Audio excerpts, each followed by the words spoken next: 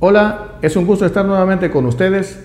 En dos videos anteriores vimos cómo reemplazar un panel de un televisor principalmente en modelos de 32 pulgadas que son los más comunes.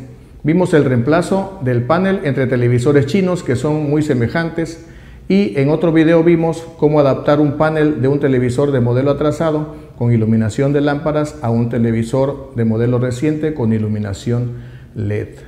En los dos casos tuvimos la suerte de que coincidieran los conectores y el orden de los pines. En esta ocasión tenemos un televisor LED Smart TV marca Samsung de 32 pulgadas que tiene el panel roto.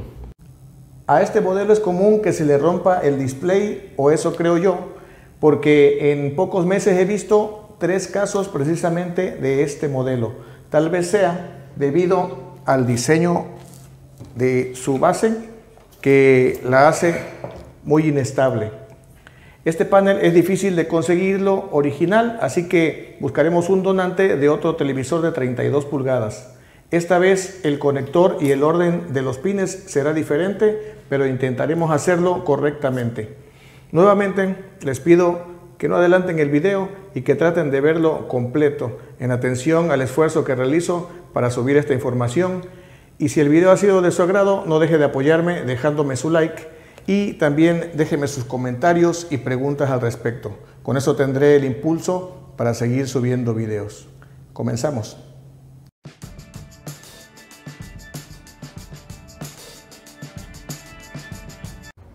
Veremos primero el televisor Samsung que tiene el panel dañado. El modelo exacto aparecerá en su pantalla. Este televisor cuenta con una fuente de alimentación externa, un adaptador ACDC con salida de 19 voltios, lleva pocos tornillos en la parte de abajo y en esta parte lleva otro a donde se encuentra la tarjeta main y por los costados y en la parte de arriba lleva solamente broches hechos con la misma tapa, por lo que deberá utilizar una cuña para ir abriéndolo poco a poco. En la descripción del video les dejaré la hoja de datos del panel que utiliza este televisor para que puedan descargar la información. Ahora vamos a proceder a desarmarla para ver a detalle las conexiones del panel. Ya tenemos destapado el televisor, esta es la tarjeta main y este es el flex, el conector flex que conecta la tarjeta main hacia la tarjeta Ticon y podemos aquí ver las conexiones y se pueden apreciar claramente que estos puntos son los puntos de prueba para los, las señales LVDS. Aquí está LV0, LV1, LV2, clock y LV3. Pero estos puntos de prueba los podemos utilizar para hacer las conexiones al panel de repuesto. Aquí tenemos también que los primeros cuatro pines son de el voltaje y los siguientes son de tierra. En este punto podemos hacer la conexión del voltaje y en este el de tierra. Vamos entonces a cortar, vamos a marcar de esta parte hacia acá y solo utilizaremos esa sección, haremos un corte aquí, otro acá, para que se puedan conectar el otro panel en esos puntos. Lo colocaremos aquí al chasis con cinta de doble cara, pero antes de todo eso vamos a retirar la tarjeta main y las bocinas para que podamos desmontar el panel Aquí estamos retirando el panel dañado.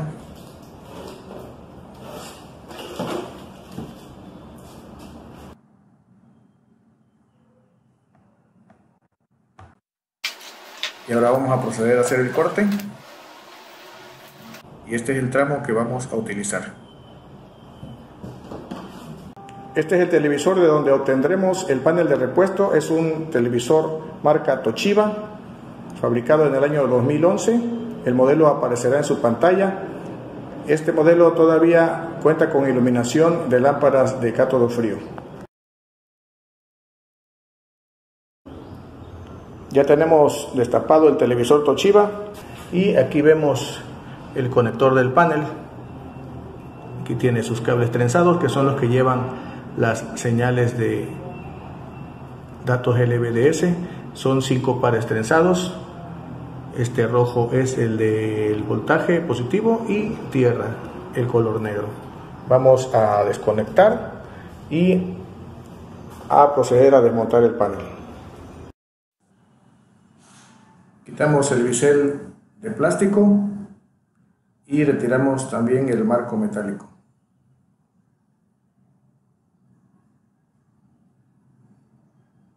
La tarjeta Ticón tiene tornillos, se los retiramos, quitamos el panel con cuidado, lo colocamos en un lugar seguro para instalarlo en el televisor dañado. Aquí ya lo estamos instalando. Pero parece que no queda bien en las esquinas. Tuvimos un pequeño inconveniente, no entra perfectamente bien el panel en el marco de este televisor, pero afortunadamente en las esquinas los soportes son aulados, entonces podemos proceder a hacer un pequeño corte con una navaja son unos cuantos milímetros y con esto vamos a poder ajustar el panel en este televisor. En las esquinas procederemos a hacer unos pequeños cortes en los dos lados, solamente un par de milímetros.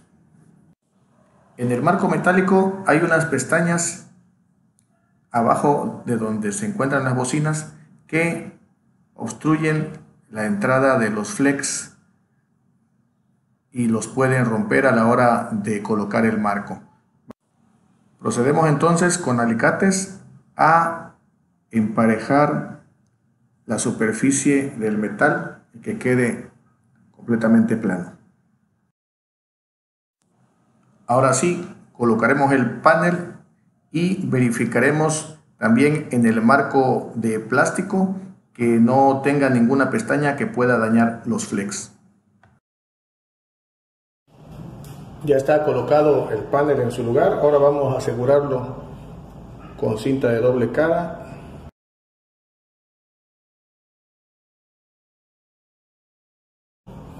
Ya, ahora vamos a proceder a montar la tarjeta con el flex y aquí vamos a poner el otro conector también pegado con cinta. Fijamos, doblamos el flex y lo conectamos. Ahora procederemos a hacer las conexiones. En esta tarjeta Ticón se logra identificar plenamente los cables de las señales LVDS, el cable de tierra y el de voltaje.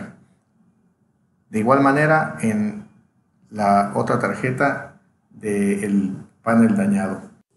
De cualquier manera les dejaré los enlaces para que puedan descargar la información de los dos paneles.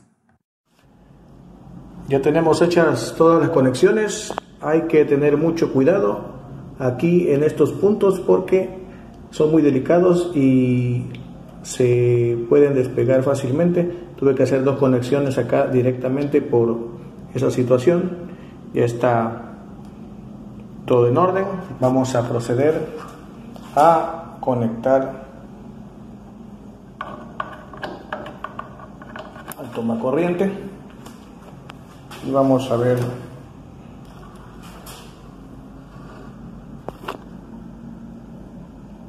aparentemente se está viendo bien.